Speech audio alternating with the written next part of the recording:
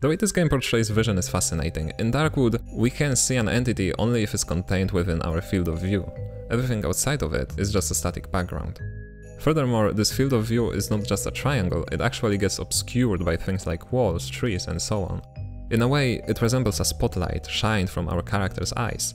But it's not an actual light, it does not illuminate anything, and if there's no other source of light, we still won't be able to see. So, since Unity 2019, we have this brand new 2D lighting, and I thought it would be fun to use it and recreate this Darkwood's vision mechanic. So I started by creating this simple testing room. Links to the art I used are in the description.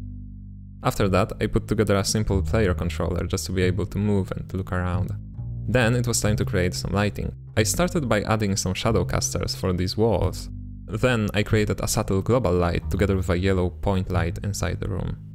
We also need a separate set of lights to simulate the character's vision. Something like this. Initially, my plan was as follows. First we render the vision lights to a render texture. Then, while the actual scene is being rendered, we use data from this render texture to grey out regions of the world and clip out entities that are beyond our character's sight. Unfortunately, it is not that easy. Turns out that you can't just make a camera render only specific lights, and we need to do that to create our vision texture, so I had to come up with something else. I was playing around with lights, trying to find a different solution, when I noticed something interesting. In the 2D renderer settings, there is a parameter called render texture scale. But what's more interesting is that it's separate for each blend style. Therefore, somewhere under the hood, Unity needs to have a separate light textures for each blend style. If we find a way to access them, we'll be home free. We are currently looking at the source code of Sprite default shader, which is the basic shader provided by Unity to use with 2D lighting. Don't worry though, people who wrote this are as confused as we are. What interests us is this little fragment shader here. It calls this combined shapelight shader function, which is declared in this file. And this is exactly where the magic happens. This function samples all four light textures and mixes them into a final color. All I had to do was clone this whole shader and modify it a little bit. I also made some adjustments in our scene.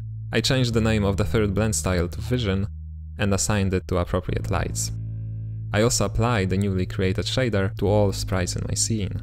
In this shader, I excluded our third blend style from the final result, so that our vision lights don't illuminate anything.